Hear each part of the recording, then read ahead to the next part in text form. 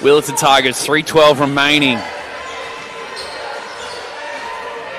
For three, Barr. Bang, bang, MVP. 2.4 seconds remaining. They get it in. Try to give it back to Barr. On the buzzer.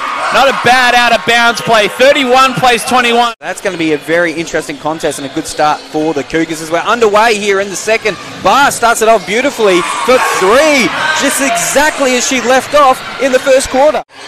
Kick back. Barr's open if they can get it Very to her. open. A high arcing shot from Stacey Barr.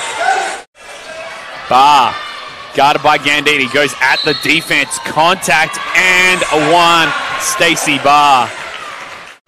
Alex Sharp.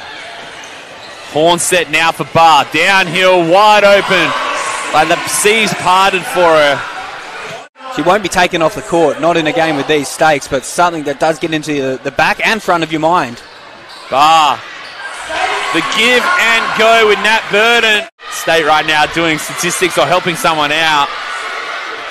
Seven now is the deficit. Barr goes at Gandini.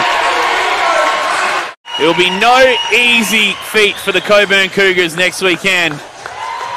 Stacey Barr is taking the opportunity as the shot clock wasn't going to run out.